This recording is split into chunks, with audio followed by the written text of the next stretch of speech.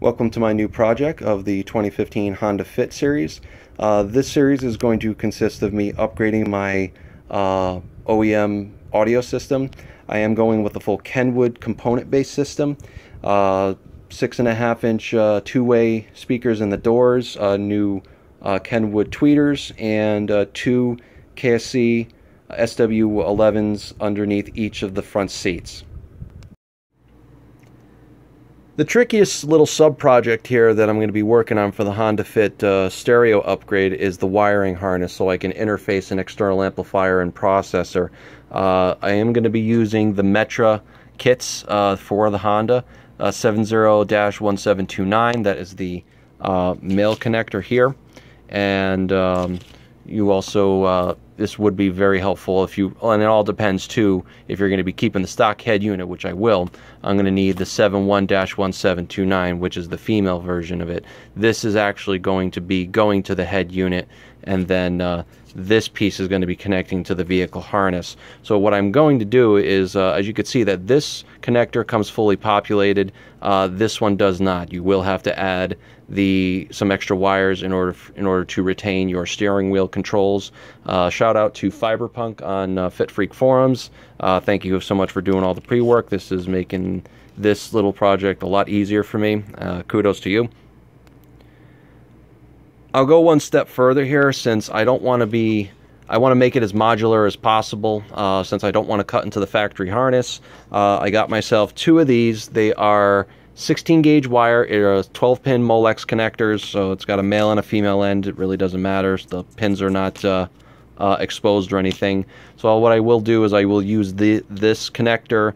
Uh, one side will be on the female side here uh, for the output of the speakers, which will then go to my processor.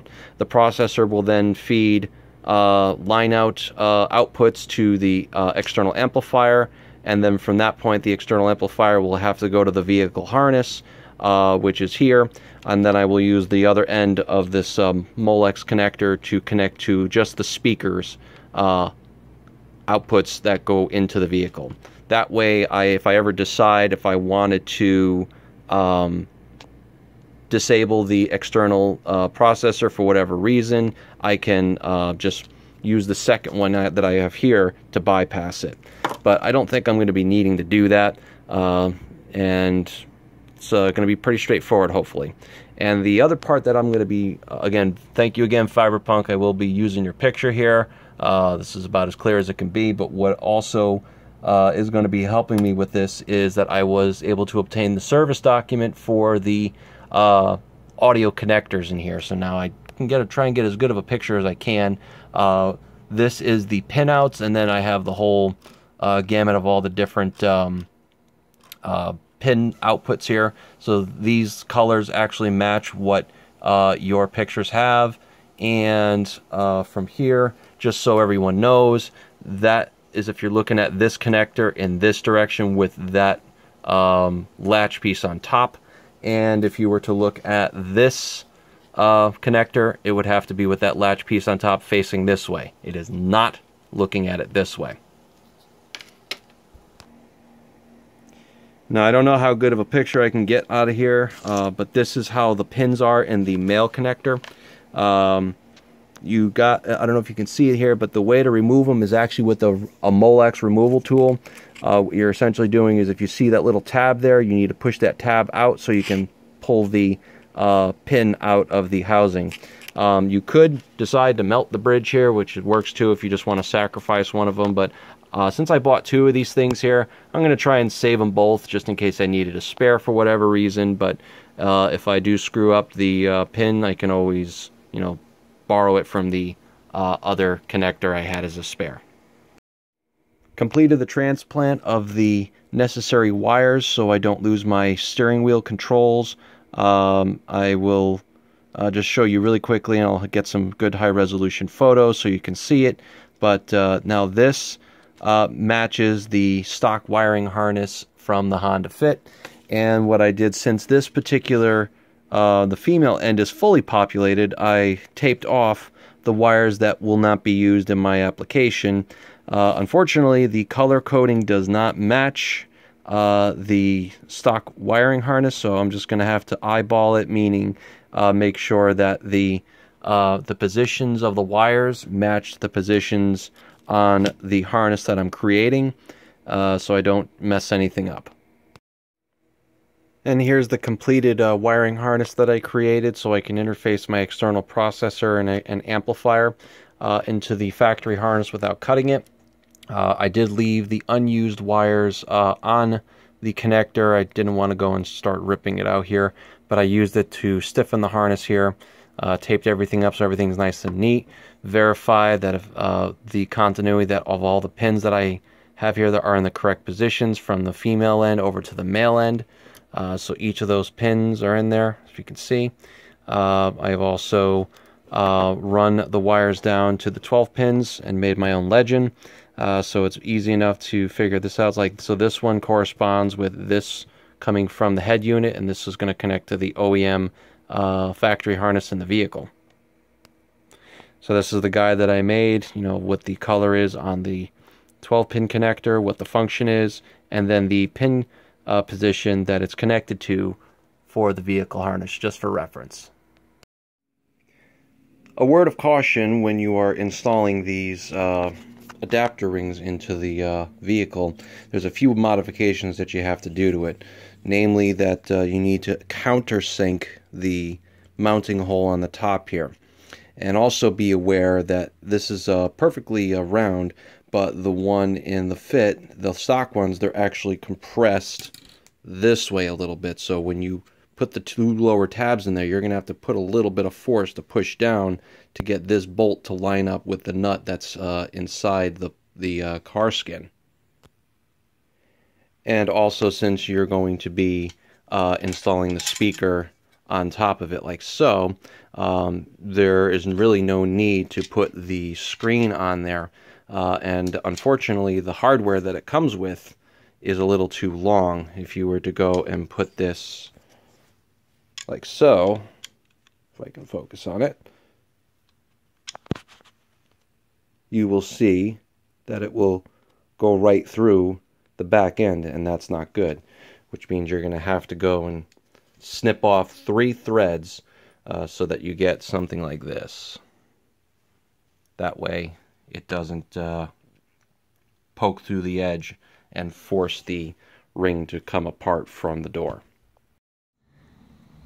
I've successfully removed the head unit from the dashboard. You do need to remove the meter trim and then the vent trim. There's two bolts on the top, one and two, and then there's a third bolt on the bottom that's pointing up.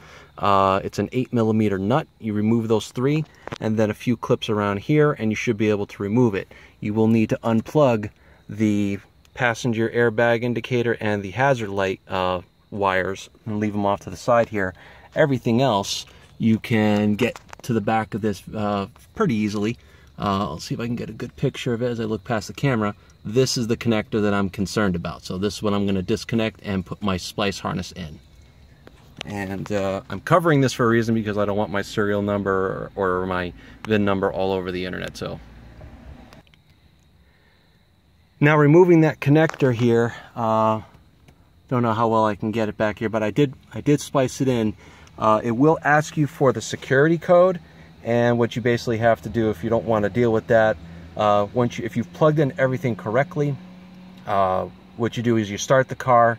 It'll get a signal from the B CAN uh, from the CAN bus network, and uh, you press and hold uh, power for about two seconds. You'll get your standard warning, and everything should be fine. At least that's how it did work for me. Here's the final setup of the audio processor and the amplifier. Uh, tested it in the vehicle. It sounds great. Uh, now I'm going to have to mount it into the vehicle. Uh, this uh, LCQ1 is going to have to be mounted in the glove box uh, since I don't really have any other place to put it. Uh, this is going to be mounted in a crevice above the glove box there since it's such a small form factor and it, it does get a little warm but um, I am like in, extremely impressed on how well it drives the new Kenwood speakers. Now moving on to the subwoofer installation, and as you can see, I removed the center console. Uh, I've done this before for the heated uh, seats, and this is the wiring for it. Uh, you see the relays here. Uh, it's a little bit of a mess, but uh, basically what I've done is that here's the power, uh, the ground, and the speaker uh, and the signal power uh, power wire for both subwoofers. I gave myself a little bit of extra length since I'm going to uh, have to test fit it uh, outside the car first, and then I can always cut it to length. But then it'll run the through the length of the channel here, and then it will exit out the back here. Or I might try to find some way to um, put it on the side here inconspicuous. And then these are the plugs for the subwoofers on each of the sides here. Uh, the seats will be right here where you can mount them underneath. Wanted to make note of a few settings that I did here. So I changed the internal jumpers so I can connect the subwoofer channel to the main channel, the front, uh, left, and right. Uh, and I also disabled the auto on feature uh, and kept the ground isolated. What I'm going to be using is the remote in and remote out. Uh, uh, on the gray wire here or the accessory uh, wire that's that's on the ma master harness that's going to input about I think it's like 12 volts or it's even a little bit less to remote turn this on when the ignition is on and then remote out runs up around this harness through the uh, adapter that I made and then sends that signal to also turn on the amplifier. And finally the subwoofers will be connected here but since I have four uh, inputs for uh, the left and right subs, uh, I'm going to have to get a splitter here in order to connect them all together, uh, which is a simple Radio Shack item. More progress today, was able to install the amplifier, uh, hide it inside the dashboard, I'll show you, uh, and put all the wiring harnesses, tape them up, and wire tie them out of the way. I still haven't put this in the glove box just yet. Uh, I made some uh, splitters so I can connect both of my uh, left and right channels the inputs for the subwoofer since that's what's going to be driving here. Uh, I did also run separate 10 gauge wire, one for the subwoofers here and another one that's running for the processor and the four channel amplifier up above here. Uh, each will be fused at 20 amps and uh, that'll, that should be more than enough. and now even though this is being fed by 20 amps, I put a they require a, a 2 amp fuse, but I put a 3 amp fuse. That was the smallest I could find, uh, so that protects this particular unit. And finally, uh, the 4 channel amplifier is located up here.